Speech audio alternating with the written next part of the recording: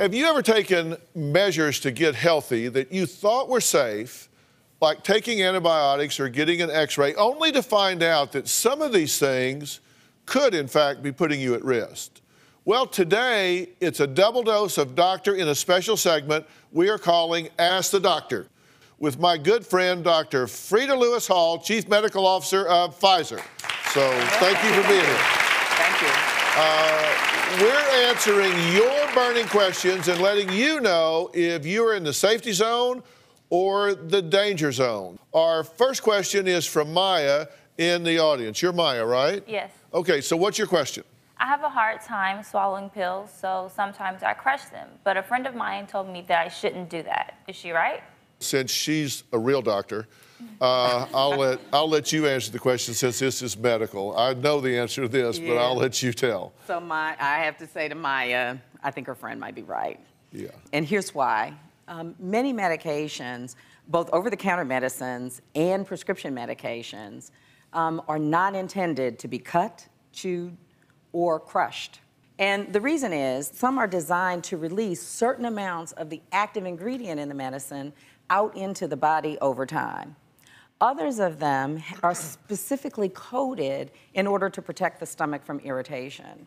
So when you alter medication in any way, like Maya's described, then you can end up delivering more medicine to the body faster than expected. You can end up with unexpected side effects, and sometimes you can even lead to an overdose doing it that So, way. So what's the best way to find out how she should actually take her medication? You should talk to your doctor, to the nurse, or to the pharmacist to make sure that it's being done correctly.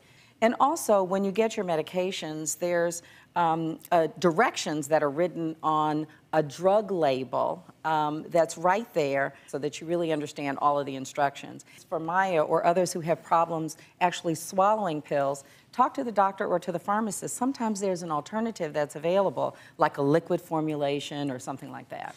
And people who can't swallow pills may face a mental barrier. If you think you're getting ready to gag, for example, you got to really think your way through it. So, but thanks for your question. Don't crush your pills. Uh, next, we've got a video from Cynthia in Encino, California. Let's take a look at her question.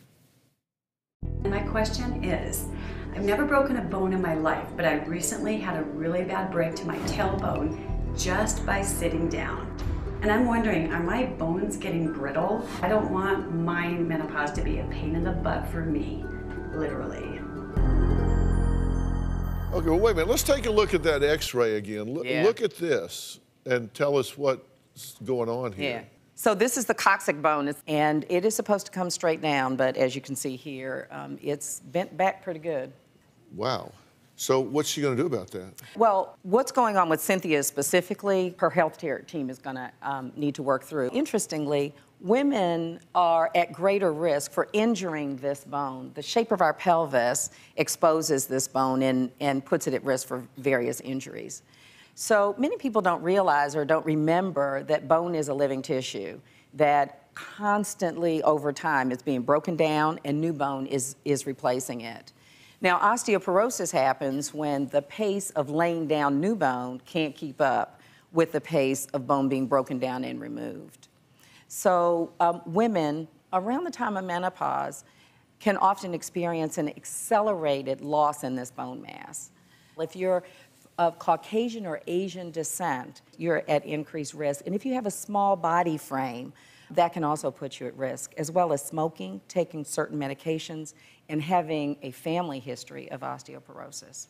They get to a certain age where bone is breaking down and deteriorating faster than it's regenerating. How do you prevent the, lo- the So loss? there are a few things. First of all, I mentioned smoking. If you smoke, stop. And also diet and exercise, not surprisingly, play an important role. And remembering to include calcium and vitamin D is very important. And weight-bearing exercises, we believe, helps um, in preventing osteoporosis. Right. You want to do wellness checks uh, frequently, especially around the menopause time.